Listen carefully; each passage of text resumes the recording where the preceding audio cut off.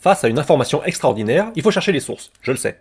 Mais c'est pas toujours facile de savoir qu'est-ce qui peut faire office de source. J'ai parfois un peu de mal avec certaines affirmations qui sont controversées.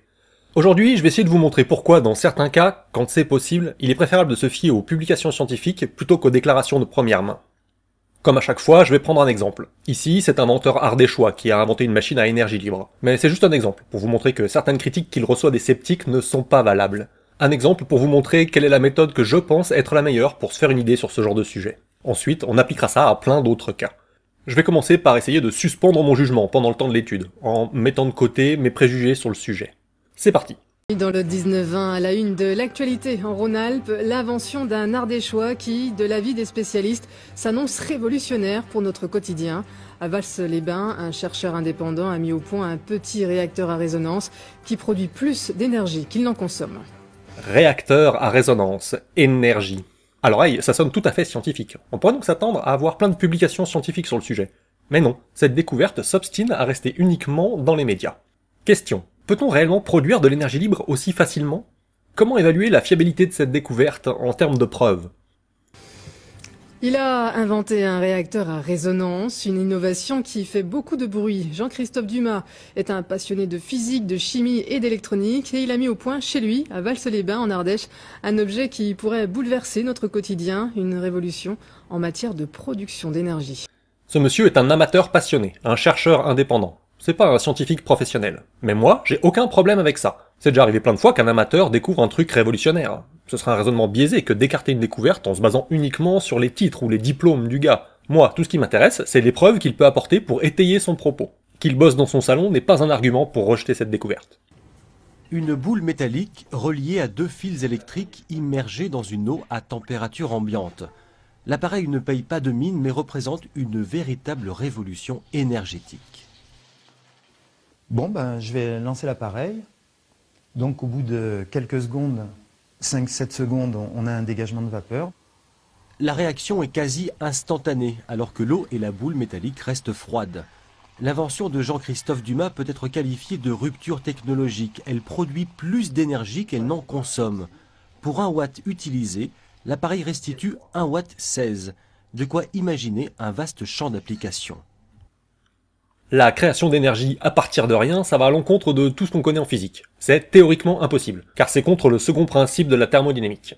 Mais moi, j'ai aucun problème avec ça. C'est déjà arrivé plein de fois d'être face à un effet physiquement impossible selon les connaissances de l'époque, et qu'il faille se rendre à l'évidence, c'est la physique qu'il faut changer. En 1905, on mesurait la vitesse de lumière et son comportement était complètement à l'encontre des principes de base de la mécanique. Eh bien, Einstein a proposé de nouvelles théories physiques, en changeant complètement notre définition du temps.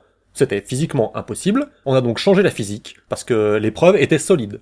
Que ce soit physiquement impossible n'est pas un argument pour rejeter cette découverte. À partir du moment où j'évapore de l'eau tout de suite, je peux désaliniser de l'eau de mer. Donc, je peux créer des systèmes de chauffage, puisque je fais bouillir de l'eau instantanément, euh, la stérilisation médicale, l'agriculture, l'extraction. Enfin, les, applications, il y en a autant que, que de gens qui font bouillir de l'eau. Je dois reconnaître, si cette invention marche, c'est vraiment une nouvelle extraordinaire. Avec une énergie libre et infinie, plus de problèmes énergétiques, plus besoin d'extraire du pétrole, du coup plus de rejet de gaz à effet de serre, du coup plus de problèmes climatiques. Sans contrainte énergétique, on va pouvoir synthétiser toute la nourriture qu'on veut, fini la fin dans le monde, à nous les voitures volantes et la conquête spatiale. Moi, j'ai aucun problème avec ça. Mais les conséquences que ça aurait sur notre société si c'était vrai, c'est pas une preuve que c'est vrai, ni du contraire. Pour le moment, la seule question qui m'importe, c'est est-ce que cette machine produit de l'énergie libre ou pas? Que ça change complètement notre société n'est pas un argument pour rejeter cette découverte. Contacté par plusieurs grands groupes pour racheter son invention, Jean-Christophe Dumas s'y est opposé. Mieux, il a décidé de la dévoiler dans son ensemble avec un schéma de montage sur Internet. Cet appareil a un potentiel de recherche et développement qui pourrait apporter une solution énergétique de complément. Donc je me suis dit, euh, vu, la situation dans laquelle on est au niveau énergétique, est-ce qu'il ne serait pas préférable de chercher de faire de l'argent à tout prix, de donner ça à tout le monde, tout simplement? Résultat, depuis sa mise en ligne il y a dix jours, plus de 80 000 personnes se sont intéressées à l'invention de Jean-Christophe. Aujourd'hui, il l'ignore, mais grâce à son idée et son altruisme, une révolution technologique est peut-être lancée. Ce monsieur a réellement l'air sincère, altruiste, il ne cherche pas à faire de l'argent avec son invention. Mais la bonne foi n'est pas un argument. Il veut le bien de l'humanité de façon désintéressée, c'est une chose, mais pour le moment, la seule question qui m'importe, c'est est-ce que cette machine produit de l'énergie libre ou pas? Pour ça, il faut évaluer les preuves, mais ce reportage n'en parle jamais. J'ai largement creusé le sujet depuis l'annonce médiatique de cette invention il y a deux ans. Malheureusement, tout ce que j'ai trouvé, c'est son témoignage à lui. Il a essayé chez lui, et ça marche. Personne d'autre n'a réussi malgré tous les plans de montage diffusés gratuitement sur Internet. Et surtout, il n'y a eu aucune publication scientifique. À mon avis, ça, c'est un argument pour rejeter la découverte. Voici les différentes échelles des niveaux de preuve que moi j'utilise. Je n'ai rien inventé, hein. ce sont ceux qui sont utilisés dans tous les domaines de la science. Tout en bas, il y a mes opinions, mes avis personnels, que je défends comme ça, sans vraiment avoir de preuves. C'est je le sais, je l'ai lu quelque part sur internet. Ensuite, il y a les témoignages. C'est quand je rapporte que je connais quelqu'un qui pourra certifier que c'est par exemple le reportage qu'on vient de voir. Ensuite, il y a les anecdotes personnelles. C'est quand je peux certifier moi-même que j'ai vécu ça pour de vrai. Pour beaucoup de gens, c'est le plus haut niveau de preuve possible. C'est la devise de saint Thomas, qui voulait croire que ce qu'il voit. C'est l'arnica en tout cas, ça marche pour moi. Ou bien, euh, je vous jure, je l'ai vu devant moi comme je vous vois. La démarche scientifique, c'est justement celle qui se propose de ne pas tenir compte de ce genre de preuves. Après tout, ce qui est vrai pour moi ne l'est peut-être pas pour vous. Nous, il nous faut retenir que les preuves qui sont vraies pour tout le monde. Ça a l'air dur dit comme ça. C'est même un peu vexant de s'entendre dire que son témoignage personnel, c'est juste un témoignage. Mais c'est cette exigence qui permet ensuite d'argumenter sur des bases solides. Au-dessus, il y a les études scientifiques. Elle rassemble des statistiques sur de grands échantillons. Il faut faire des groupes randomisés pour contrôler les variables, et si possible en double aveugle, et si possible contre placebo.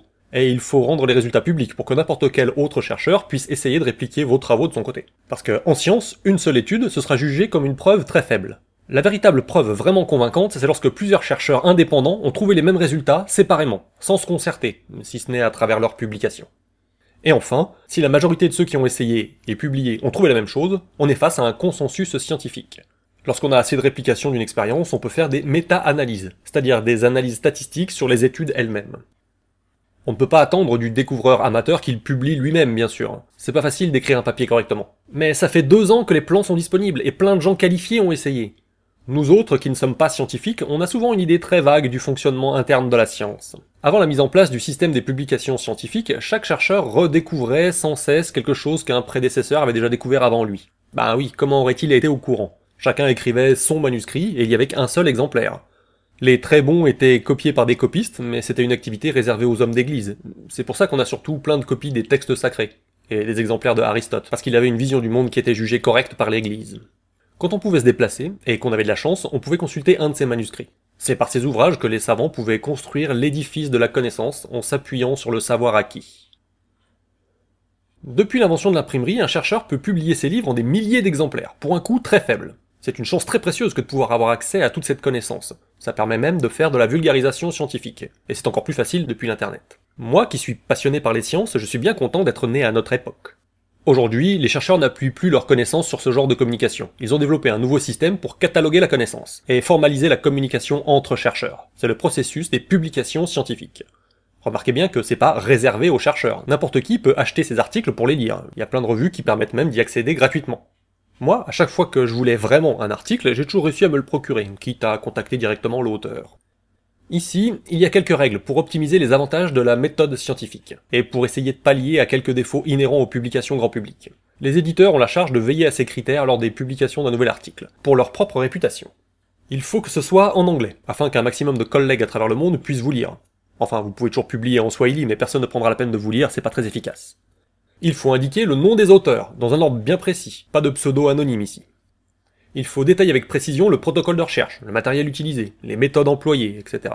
Afin que d'autres chercheurs puissent essayer de reproduire votre expérience de leur côté, juste en lisant la publication, sans avoir à vous contacter personnellement pour des détails.